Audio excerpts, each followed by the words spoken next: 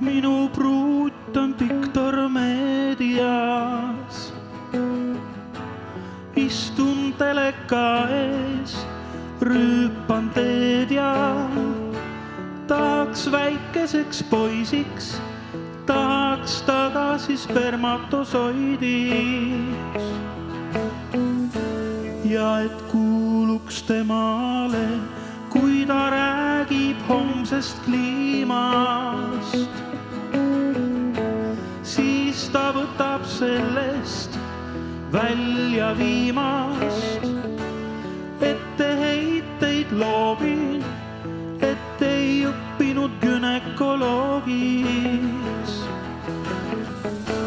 ja ei kuulu temale, kesköösaade teeb mind härdaks.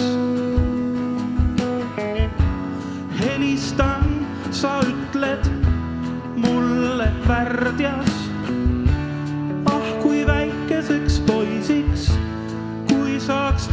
Tagasi spermatosoidiks,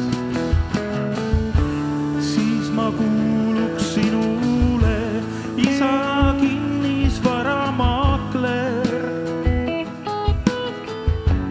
emal mul on Silja lainis kaater mulle ainuke lumm, võlur tee minust tema trussikukumm.